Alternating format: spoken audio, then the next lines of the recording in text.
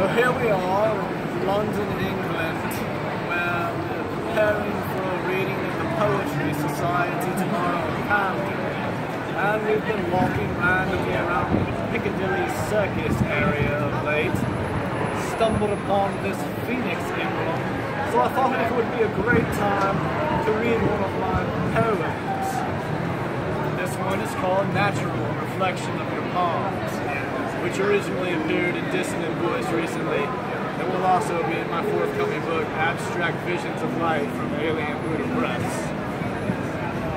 This is my breath, the same as yours, the same as dust, the same as ash when it all comes to an end, but held deeply within steady lungs that long for truth while we're still here. This is my flesh, same as yours, the same as tissue, the same as sinew, but without fiber optic connections as of now, and never will be.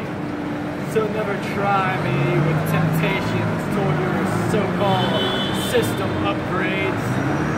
This is my blood, the same as yours, the same as a river, the same as the ocean, where we all swam before the expansion of our evolution was set into forward motion.